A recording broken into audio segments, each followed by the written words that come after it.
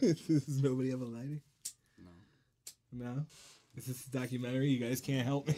like, in this nature documentary, guy has to sit here and use a magnifying glass with all these lights in here. Fuck out of here.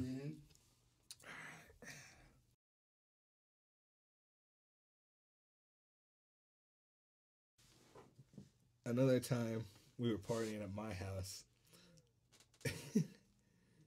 One of our friends, my dad liked to joke that he had narcolepsy because every time my dad would come home from work or anywhere, this kid would be sleeping on the couch or on the floor in my house.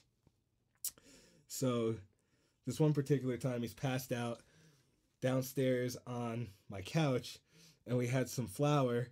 So, we just, I threw like a handful in his face. We're laughing at him for like five or 10 minutes, like right in his face. And he doesn't wake up until like the eight or nine minute mark.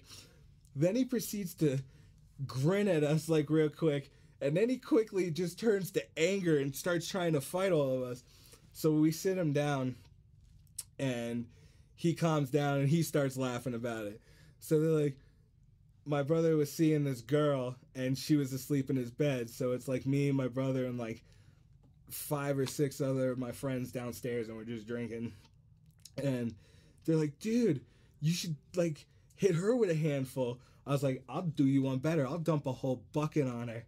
And they're like, You won't do it. I marched right up the stairs. My mom had those old pretzel containers that were empty that she liked to fill with flour and sugar and what have you, tea bags and shit. And I remember unscrewing the top. I walked right across the kitchen into my brother's room, saw her there, and there's now like eight people behind me as I just go and dump this whole bucket of flour, which had to be like four and a half pounds, five pounds of flour on this girl's head.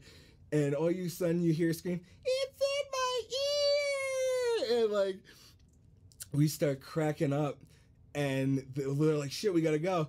So they're pushing me across this linoleum tile floor at, on my knees. And then they turn the corner to where my basement stairs are at and they push me like to try to get me to go and then my legs kick out. We run downstairs and we're laughing for like a half hour.